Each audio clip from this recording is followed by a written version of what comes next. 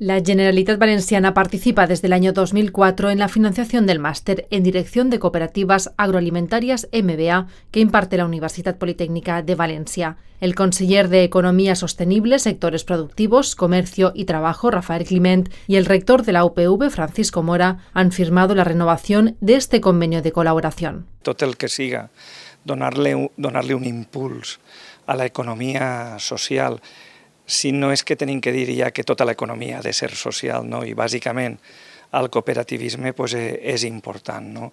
I així pues, tinc que agrair tota aquesta col·laboració de la Universitat Politècnica per estar al costat de la Administración y al costat del cooperativismo. Con la firma de este convenio, la UPV y la Generalitat fomentan la relación de cursos, congresos y jornadas relacionadas con la economía social. La Generalitat aporta 10.000 euros que se destinarán a financiar parcialmente las actividades realizadas en el máster. El objetivo del máster es eh, preparar a directores y a gerentes de cooperativas eh, preparados en las modernas técnicas de gestión de empresas.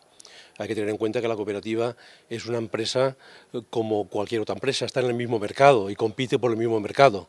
Por lo tanto, eh, los directivos eh, tienen que estar preparados en las técnicas de gestión de empresas necesarias para llevar a cabo la actividad de la mejor forma posible y que redunde en beneficio de los socios. El máster en Dirección de Cooperativas Agroalimentarias MBA de la Universidad Politécnica de Valencia es el más antiguo de la Politécnica. Recientemente ha celebrado su trigésima edición y se engloba dentro de la oferta académica impartida por el Centro de Especialización en Gestión de Empresa, CGA.